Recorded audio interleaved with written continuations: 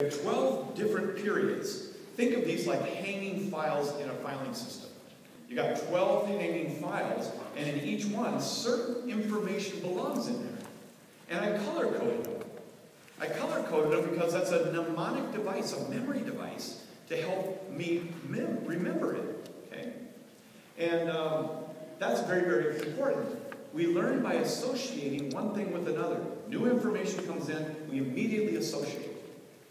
So I started associating colors with events in the period to help you remember. And that's what your, your bookmark is. So in a longer series, we of course go into a lot much more detail. But we've got 12 periods. That still doesn't help me reading through the Bible. The next thing we have to do is we have to take the 73 books and figure out how do I read these 73 books in such a way that it makes sense as a story and keeps me captive in the story. And the answer to that is this. Not all books in the Bible are narrative. In other words, not all books in the Bible keep the story moving. There are books that belong in one spot and they, they give you a broader look at what's happening during that period but it's not a narrative historical book. So what, identified, what I did is identify 14 books that are narrative. And you can see over here on the timeline chart on the far left, you've got 12 periods. Then over here you'll see narrative books. If you look at the narrative books, we have 14 of them. We have Genesis, Exodus, Numbers, Joshua, Judges, 1st and 2nd Samuel, 1st and 2nd Kings, Ezra, and Nehemiah, 1st Maccabees, Luke, and Acts.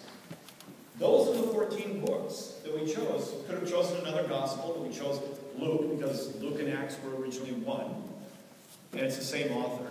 But if you read those 14 books, which are not in complete order, get the story basically. You'll basically get the narrative of salvation history. And notice what we do. We go from Genesis to Exodus. We skip Leviticus. we'll come back to it. It's got its place, but it, it, it's not right now at the beginning of trying to understand this thing. And we skip Deuteronomy. We have Numbers, Joshua, Judges, 1st and 2nd Samuel, 1st and 2nd Kings. We move on. And so those 14 books are really, really important. Today we'll basically go through those 14 books really fast together. Now the other 59 books fit in the context of those 14. So, for example, if you're over here in, in 2 Samuel, versus 2 Samuel, and you're, you're, you're reading about David, it's important to know that the Psalms fit in here. That's where they fit in. Now, your chart shows you where all of these books fit in. And also, in the back of your workbook, we have a really nice chart back there that will, uh, will assist you. And that chart is on page 39. 39, we have we have the 12 periods, we have the 14 books, and we show you where all the other books fit in, right at that point. So we're giving you a lot of information to show you where books fit in their proper place so that you can read them. By the time we're done today, you'll have a much better idea of what I'm talking about. If it doesn't seem natural at this point, it will by the end of the day.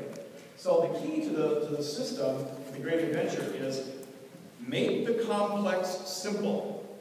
Make it simple. 12 periods, 14 books to read through the Bible. Then I know where all the other 59 fit in to those 12 periods and 14 books. Now let's look at the timeline here before we move into our first period, shall we? We have in the Bible timeline, we've got really everything that we're going to need right now. We've got the names of the periods, color. We've got the narrative books. On top of the narrative books are the 59 supplemental books, Job, Leviticus, Deuteronomy, Ruth, all of them listed. And they're more fully listed in that, that last page that I showed you in the manual. You also have a, a category here on the Bible timeline chart called God's Family Plan. And God's family plan is followed by a number of symbols that represent covenants. God's family plan grows bigger and bigger through covenants. We'll go through that later. But the major part of the timeline chart that I want to show you is this middle part here.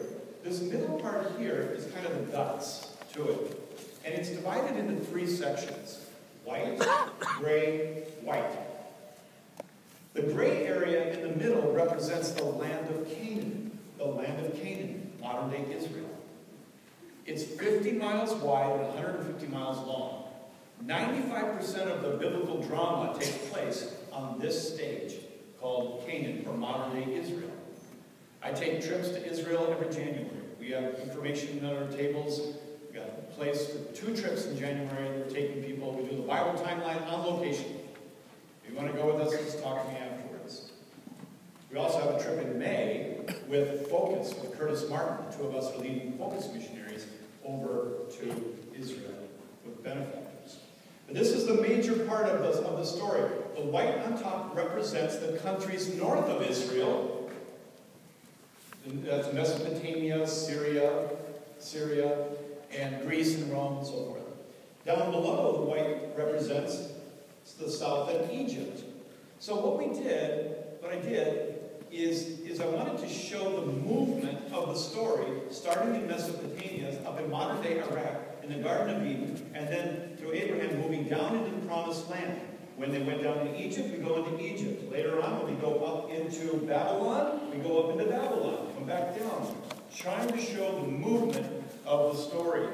So you have in this middle section a number of people, Adam, Eve, Seth, Cain and Abel, Noah, Shem, and so forth. We also have numbered, numbered uh, items which are events that took place. So you've got people and you've got events. People and events. Very, very important. And then at the bottom here, we have the world power. Egypt, Egypt, Egypt, Egypt, Egypt, Egypt, Egypt, Egypt, Assyria, Babylon, Persia, Greece, Rome. Okay? And then beneath that, we have the secular history. All the things that are happening in the world during the time of these events in salvation history. And then at the very bottom, the timeline, the numbers, 2000, 1615, 14, 13, and so forth.